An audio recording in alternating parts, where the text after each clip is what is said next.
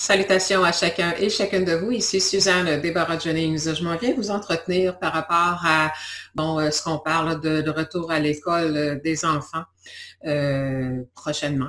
En tout cas, on verra ce qui va se passer, mais je veux quand même vous amener euh, une facette métaphysique parce que tout le monde s'occupe du physique, là, du virus en tant que tel, des corps physiques. Euh, moi, vous savez, en tout cas pour ceux qui me suivent ou ceux qui le découvrent, je suis coach et enseignante métaphysique. Donc, ce, euh, que je regarde, c'est quand même l'aspect énergétique, émotionnel pour ceux que vous savez que vous avez des corps d'énergie qui sont en fait grande partie gérés par vos émotions. Donc, en fait, je vais vous expliquer ce que je vois dans la situation qui est un peu différent de ce que tout le monde peut regarder. oui, la contagion, si les enfants vont à l'école, euh, peut amener ça à la maison, rendre certaines personnes qui sont vulnérables, comme a une personne âgée qui vit avec la famille ou quelqu'un qui est déjà euh, atteint physiquement euh, par une maladie quelconque. Donc, ça peut mettre ces gens-là à risque. Ça, c'est déjà compris, on le sait. Sauf que ça met d'autres gens en danger dans l'aspect métaphysique. En fait, ça veut dire quoi? Si vous n'avez pas vu, j'ai fait une conférence le 5 avril dernier qui est disponible, qui est gratuite. Vous avez juste à vous inscrire et vous avez un accès direct. Trois heures et demie de temps, beaucoup de bagages, où j'ai étudié la métaphysique du coronavirus au niveau planétaire pour tous les humains. Et dans ça, je vous donne les grandes lignes, les trois principaux, en trois facteurs physiques détresse respiratoire, on parle de la toux, on parle de colère, bon, euh, de, pas de colère, c'est-à-dire qu'on parle de fièvre. Fièvre égale colère, tout égale j'ai besoin de m'extirper de quelque chose, de me sortir d'une situation qui m'étouffe. Et détresse respiratoire, évidemment, j'étouffe. Si on prend ces trois aspects-là, si vous voulez avoir plus de détails, vous irez voir, je vais vous mettre le lien de la conférence où j'explique tout ça et aussi en numérologie, tout ce qui se cache derrière ça. Donc, moi, ce qui me m'interroge par rapport au retour des enfants à l'école, c'est que actuellement, moi, je vous parle émotionnel, psychosomatique, métaphysique actuellement. Les parents, les couples qui sont ensemble, confinés à la maison depuis quand même un bon bout de temps, qui n'ont pas l'habitude de le faire, qui n'ont pas, euh, on sait que des enfants, là, 24 euh, heures sur 24, on s'entend que c'est pas facile. Donc, pour certains qui sont moins habitués ou que dépendamment des tempéraments qu'on a aussi en tant qu'humains, actuellement, il y a beaucoup de couples, de familles, de parents qui étouffent, pas dans leur corps, c'est étouffant. Là. On est confinés toutes dans les mêmes pièces. On est un par-dessus l'autre, dépendamment des tempéraments qu'on a. Alors, autant les parents que les enfants, pour certains, peuvent être en détresse respiratoire.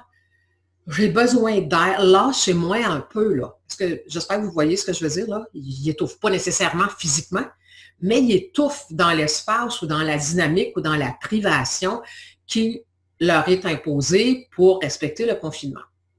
Donc, à risque, parce que je me sens étouffée. C'est peut-être pas clair pour vous, allez voir la conférence, j'ai tout expliqué ça dans les détails. Donc, l'atout. L'atout représente, je veux m'extirper d'une situation, de quelque chose qui me dérange. Donc, ça, c'est physique. Quand je touche, parce que j'ai quelque chose de pris dans la gorge. Mais de façon métaphysique, je voudrais me sortir d'une situation qui est trop lourde pour moi. Donc, il y a des parents actuellement qui trouvent ça extrêmement lourd de gérer tout ça, des couples qui ne sont pas habitués d'être 24 heures sur 24 ensemble à gérer les enfants, donc qui aimeraient bien, on va finir par en sortir, donc je veux m'extirper d'une situation à risque. Vous avez toutes les émotions pour attirer le virus. Et la fièvre, pour ne nommer, bon, il y a d'autres, euh, d'autres, choses, là, mais la fièvre, la colère, à un moment donné, ça peut amener des colères intérieures qui fait j'en ai assez, on va s'en finir et tout ça. Peut-être que, bon, il y a aussi peut-être au niveau des, sinus, là, les sinus bloqués et tout ça, je suis plus capable de sentir ça, je suis plus capable de. J'en peux plus, là, je suis plus capable. Donc, métaphysiquement, émotionnellement et au niveau de la psychosomatique, la famille au complet est à risque mais ce qu'on regarde actuellement, c'est juste l'âge des parents. Euh, c'est pas là que ça commence, la maladie. La maladie, ça commence au niveau émotionnel et ça se jette dans le corps. Donc, actuellement, les familles, même s'ils sont plus jeunes ou dépendamment des âges, parce qu'on parle d'enfants, on ne parle pas juste des enfants qui ont 5 ans, 6 ans, on parle de, jeunes, euh, des, parents qui ont des enfants de 13, 14, 15, 16, 17, 18, qui aujourd'hui ont 50, 55 ans peut-être. Donc, j'espère que je vous dis de bonne façon, mais les gens qui sont en confinement, même s'ils n'ont pas de symptômes physiques, ils ont les symptômes psychosomatiques. Ils se sentent en détresse respiratoire au niveau GATT. Mon espace est confiné. Euh, peut-être qu'il y en a qui se sentent en colère de vivre ça ou qui n'en peuvent plus. Là, je suis plus capable de doter. Donc, on va-tu finir par sortir de là? Donc, tous les symptômes énergétiques, métaphysiques et psychosomatiques sont en place pour attirer le virus, si vous vous sentez comme ça. Donc, je comprends qu'on veut tenter de, stopper le virus en utilisant les enfants. Je sais qu'il y en a qui n'aimeront pas mon mot, mais c'est quand même ça. Mais l'enfant lui-même qui étouffe à la maison parce qu'il ne peut pas voir ses amis et tout ça, il est présentement à risque. Ce n'est pas une question d'âge du corps. En tout cas, pour ceux qui ne comprennent pas qu'il y a d'autres choses en dehors, là, je veux dire, je vous ai souvent montré euh, mes images, j'en ai montré une tantôt, mais euh, tout ce qu'on peut euh, ressentir, bon, je vais reprendre la main, je ne trouve pas l'autre, mais énergétiquement, dans vos émotions, ce que vous dégagez, prenez les mots, c'est mot à mot, détresse respiratoire. Il y en a-tu qui manquent d'air, sans manquer d'air? Je pense que vous comprenez ce que je veux dire. Tu manques pas d'air pour respirer, mais tu manques d'air de ne pas pouvoir être libre. Donc, nous sommes tous à risque si nous avons cette façon de réagir intérieure, si nous portons ces émotions, nous pouvons, on est les premières cibles. Les gens sont les premières cibles à être porteurs du virus. C'est les gens qui portent des émotions d'étouffement dans le confinement. Même s'ils n'étouffent pas encore physiquement.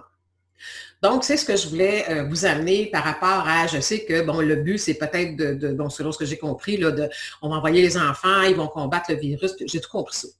Donc, je vous ai dit ce que j'en pensais, ce que je vois, ce que je comprends. C'est ça qui est mon domaine, la profondeur des choses. Avant d'avoir un corps physique, on a des corps d'énergie qui sont, évidemment, c'est tout ce que vous ressentez qui va déterminer ce que vous attirez à vous en fonction du principe créateur et de la loi de l'attraction. Donc, dès que vous vous sentez irrité, que vous avez besoin, on va-tu finir par en sortir? Là, j'ai hâte de reprendre ma vie d'avant. Vous êtes à risque. Si vous êtes en détresse respiratoire, dans le sens que, pas de votre respiration, mais que, manque d'air, d'être tout le monde à empiler un par-dessus l'autre dans le salon pendant 24 heures sur 24, vous manquez d'air psychologique, émotionnel, qui pourrait vous emmener à manquer d'air avec le coronavirus. Donc, euh, je pense que c'est important de tenir compte de cet aspect, en tout cas pour ceux qui sont dans cette direction-là. Je sais qu'il y a des gens qui sont que dans la matière, puis que dans, les choses scientifiques, puis que, bon, euh, ça prend toutes des preuves pour tout. Mon message ne s'adresse pas à vous. Je parle aux autres qui comprennent de quoi je parle. Donc, suggestion, si vous voulez vraiment, euh, je ne sais pas comment ça se mettre en place, c'est comme le feeling que j'ai eu ce matin, étant moi-même enseignante via Internet. Si vous avez, en tant que parent, des inquiétudes par rapport aux notes et tout ça, je veux dire, pourquoi vous ne faites pas... Euh, euh, organisez-vous pour que la classe ait lieu? En vidéoconférence avec vos enfants. Vous les assoyez devant l'ordinateur, le professeur est chez elle, a fait sa matière. Euh, bon, en tout cas, il y a moyen, là. Il y a moyen d'innover en toute sécurité euh, de continuer. Mais je sais que le but de retourner les enfants à l'école, c'est pas pour qu'il n'y ait pas de retard scolaire. C'est pour qu'ils participent à diminuer le coronavirus. Donc, même si, là, je vous envoie ça en tant que, vous avez un libre arbitre. Vous avez le pouvoir de choisir. Euh, si vous êtes confiné à la maison, que vous envoyez vos jeunes au front, en tout cas, c'est une vision. Il euh, n'y a personne là, qui va vous obliger à, le faire. Puis même si on veut vous obliger, il a peut-être le temps que les humains se tiennent debout. C'est votre enfant qui va aller se mettre à risque, qui va emmener ça chez vous, qui va vous mettre à risque. Puis, donc, si on n'est pas capable de lever l'interdiction, de lever le confinement pour tous les humains, pourquoi on enverrait nos enfants servir de dit peut-être pas vaccin, mais de préparer tout ça. Donc, c'est vos enfants, c'est votre responsabilité. suivez votre senti. Si ça vous insécurise, demandez pas au gouvernement qui empêche la loi, gardez-les à la maison. On verra bien ce qui va se passer. Parce que c'est peut-être pas une bonne idée de vous dire ça, mais c'est ce que je pense. Donc, il n'y a pas personne qui peut vous forcer à envoyer vos enfants à l'école compte tenu des circonstances. Il n'y a pas personne qui va pouvoir vous forcer à avoir un vaccin si vous ne le voulez pas, à moins que vous décidiez de plier à ça. Donc, oui, il y a peut-être des lois, mais vous avez la première loi qui a été créée par le créateur, peu importe comment vous voulez l'appeler. On vous a donné le libre arbitre de décider ce qui était bon pour vous et pour les gens envers qui vous êtes responsable. Donc, c'est le moment de faire valoir notre liberté tout en étant confiné. Est-ce que vous voyez que la liberté, ça part de l'intérieur, le choix. C'est pas parce que quelqu'un, ma, mère disait autrefois, si quelqu'un va se pitcher en bas du pont, vas-tu y aller toi aussi? Bien là, on est là, là. Si on envoie tous nos enfants dans le ravin parce qu'une loi a été décidée, et euh, jusqu'à maintenant, euh, je veux dire, par rapport à ce qui a été dit de M. Legault depuis le début, j'ai toujours été euh, très admirative de son, de son, de son calme, de, son discernement et tout ça. Là, mettons que dans celui-là, -là, je n'embarque pas là-dedans, dans le sens que si on était pour nous annoncer que oui, tout le monde est en sécurité maintenant, tout le monde peut retrouver au travail, puis tout ça, bien bravo, les enfants retournent à l'école. Moi, je trouve que c'est juste du gros bon sens. Et là, je vous amène un point que je, véhicule de plus en plus, que j'ai parlé dans la conférence aussi. Les relations, et nous sommes tous en relation, dans la cinquième dimension de conscience, dans une conscience d'amour et de respect qui devrait être appliquée aussi par nos dirigeants, c'est écoute, respecte, bien-être mutuel.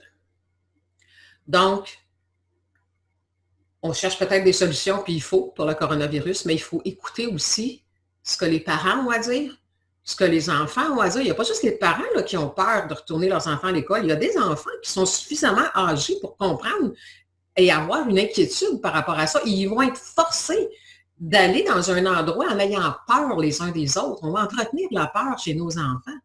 Donc, Écoutons ce que tout le monde a à dire, respectons que chacun a le droit de se sentir comme il se sent et cherchons un bien-être mutuel. Donc, je pense pas, je pense qu'il y a même déjà des pétitions là, qui sont en route. Donc, il n'y a pas un bien-être mutuel dans le fait de retourner les enfants à l'école prochainement. Donc, si on ne lève pas l'interdiction ou le confinement pour les adultes, je ne vois pas pourquoi on enverrait nos enfants au front ou nos petits-enfants. Moi, mes enfants sont grands. J'ai des petits-enfants. Et je ne serais pas euh, très en sécurité de savoir que mes petits-enfants euh, sont soit à la garderie ou à l'école. Parce que je connais, et j'essaie de vous l'amener, ce qu'est la psychosomatique. Et ce sont nos émotions qui se transforment en vibrations, qui attirent ou créent dans notre corps la santé ou la maladie et nos événements de vie. Donc là-dessus, je vais vous citer une réflexion vous en faites ce que vous voulez. Je sais que ce message-là ne s'adresse pas à tous. Ça prend des gens, c'est pour les gens qui sont en cheminement, qui sont en conscience qu'il y a autre, autre chose dans notre vie que le corps de peau. Il y a quelque chose au-delà de ça. Puis ce qui tient notre structure physique, c'est le monde énergétique, c'est le monde métaphysique, c'est ce que l'on est en vibration d'abord et avant tout. Donc, avant d'envoyer nos gens dehors, on va aller voir comment est-ce qu'ils se sentent pour éviter que ça dégénère. Alors voilà, c'est ce que j'avais à vous partager. Donc, si pour vous, ça fait du sens, partagez la capsule. Puis si ça ne fait pas du sens, de toute façon, possiblement que vous avez arrêté la capsule avant la fin. Et c'est correct. On parle de respect. Chacun émet des, des hypothèses, des visions, des opinions. Je n'en suis une que parmi tant d'autres. Allez-y avec ce qui fait résonance avec vous. Donc, si envoyez vos enfants à l'école, même si le gouvernement décide que c'est officiel, que les enfants doivent aller à l'école, écoutez votre cœur, écoutez votre senti, écoutez-vous. Je pense que tout est dit. Alors, bonne conscientisation, réflexion et apprenez à vous suivre maintenant. Vous avez un libre arbitre, vous pouvez décider de ce qui est bien. Quand on prend des décisions basées sur la peur ou sur des décisions prises par d'autres qu'on est inconfortable avec ça, rappelez-vous qui va vivre avec les conséquences du choix que vous allez faire, même si vous le faites par soumission, par obligation. C'est vous qui allez vivre avec les conséquences du choix que vous allez faire d'envoyer ou pour vos enfants à l'école. On nous dit, envoyez pas les personnes âgées à l'épicerie, mais on va envoyer nos enfants à l'école. Moi, je trouve qu'il n'y a pas de cohérence dans tout ça. Voilà. Au revoir.